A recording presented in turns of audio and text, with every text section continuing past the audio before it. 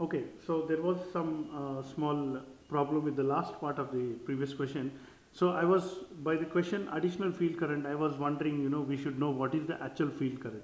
But then when I just think about it once again, additional field current means how much extra field current is needed. So if the earlier field current was X, so X plus some delta X current is needed. Here what is asked in the question is only that.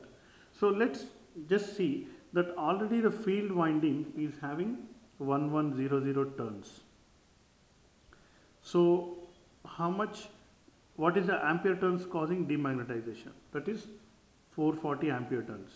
So if I multiply, divide this by 1100, so I don't want to add any extra turns, I just want to add, send some extra current to compensate these ampere turns. So if I do this, I get 0.4 amperes. So therefore, if I send an additional 0.4 current into the shunt field winding, that will take care of the demagnetization effect. So that is what is the asked in the question. Now, I hope you understand this. If you are directly looking at this video, then you need to see the other video. This is a continuation of the previous video where uh, the A and B parts of the question were solved and now we are solving the C part. So, uh, and if the earlier, just to give an example, if the earlier field current was 5 amperes, now you increase the field current to 5.4 amperes.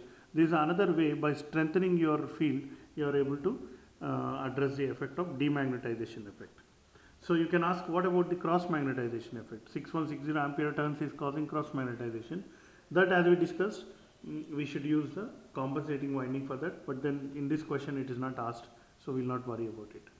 So I think uh, in this question we discussed this. So I think we'll see more questions.